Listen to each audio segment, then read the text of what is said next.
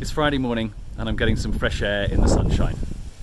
It's the 1st of April, the start of a new month and the beginning of a new quarter. And I've allowed myself this week to dream big, or what's the point, about the future of our company. One very famous thinker who knew about the power of combining dreams and actions was German polymath Johann Wolfgang von Goethe.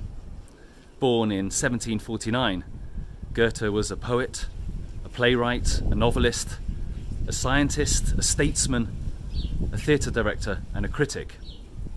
And he beautifully articulated the power of rapidly activating your visions when he said, Whatever you can do, or dream you can, begin it. Boldness has genius, power, and magic in it.